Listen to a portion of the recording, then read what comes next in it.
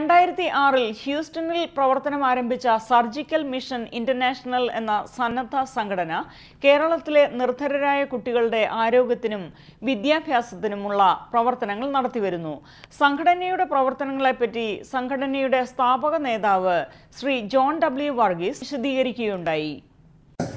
എല്ലാവരെയും ഇന്നിവിടെ വന്ന ഈ സദസ്സിനെ കൊഴുപ്പിച്ച എല്ലാ ആളുകളെയും ലഡം സ്മൈൽ അഗെയിൻ എന്ന് പറയുന്ന ഭയങ്കരമായ ആ സംരംഭത്തിന്റെ പേരിലും എന്റെ പേരിലും ഞാൻ ഈ സദസ്സിലേക്ക് സ്വാഗതം ചെയ്തുകൊള്ളുന്നു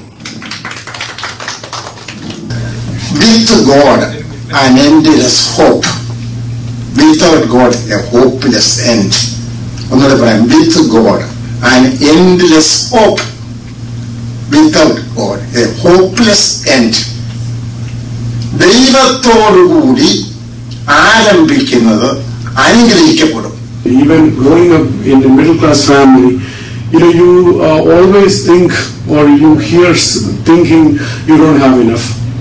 So think about, you know, uh, people who are less privileged than the middle class. And the idea we um, brought, uh, we thought was, you know, we need to support the really needy, you know, there are smart kids out there, education wise, maybe they're talented singing or playing instruments. So we wanted to support these kids, uh, primarily, you know, started, wanted to start from home, Kerala. Say if somebody doesn't have money to, whether it is education, whatever their talents is, we will provide them, you know, the money. One way or the other, we will support. This was the theme. We thought we will uh, uh, start, you know, mentors. And uh, one of the idea, um, as uh, most of you guys will agree in India, you know, we don't have volunteering concept compared to the US or I guess the Western world. But uh, there is a lot of opportunity. People get retired at the age of 55, 57. Atheist. ഏറ്റവും ചെറിയത് നമുക്കറിയാം രാവിലെ എന്റെ വീടിന്റെ വാതക്ക് വന്ന് നിന്നുകൊണ്ട് അച്ഛാ എനിക്കൊരു പ്രയാസമുണ്ട് നൂറ് രൂപ തരണേ എന്ന് ചോദിക്കുന്ന പാവപ്പെട്ടവനെ ഞാൻ എടുത്ത് സഹായിക്കും അല്ലെങ്കിൽ വീട്ടിന്റെ പുറകിൽ വന്ന് നിന്നുകൊണ്ട് കൊച്ചിനെ ഒരു സാരി തരണേ എന്ന് പറഞ്ഞാൽ തീർച്ചയായിട്ടും ഒരു സാരി എടുത്തു കൊടുക്കും people who come to us with needs and we try to help them. But who are least of the least? എല്ലാവരും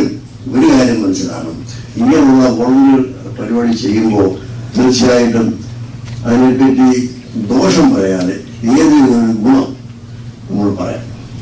അപ്പൊ ചില പേരൻസ് വന്നാൽ അവരുടെ നമ്മുടെ തലയ്ക്ക് കൈക്ക് പിടിച്ചുകൊണ്ട് പറയും "കു- ദൈവം നിങ്ങളെ അനുഗ്രഹിക്കും ഞാൻ നിങ്ങൾക്ക് വേണ്ടി പ്രാർത്ഥിക്കും. അത് അനുഭവിച്ച ഒരാളാണ് ഞാൻ. അദ്ദേഹം ചെയ്യുന്ന എല്ലാ പ്രവർത്തനവും തീർച്ചയായിട്ടും ദൈവത്തിന്റെ മുമ്പിൽ ഓഫ് കോഴ്സ് പിന്നെ മനുഷ്യരുടെ മുമ്പിൽ അതിന് തീർച്ചയായിട്ടും പ്രതിഫലം ഉണ്ടാകും പിന്നെ നമുക്ക് ചെയ്യാവുന്ന ഹെൽപ്പ് ജോണിന് ചെയ്തു കൊടുക്കുക. അതൊക്കെയാണ് നമുക്ക് ചെയ്യാവുന്നത്. എല്ലാവർക്കും എല്ലാവരോടും ഞങ്ങൾ നന്ദി പറയുന്നു. താങ്ക് യു സോ മച്ച് ഇവർക്ക്